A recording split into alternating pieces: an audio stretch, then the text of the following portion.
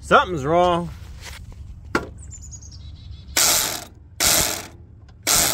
It's the pulley. That's an easy one. Not. They got this thing buried underneath the...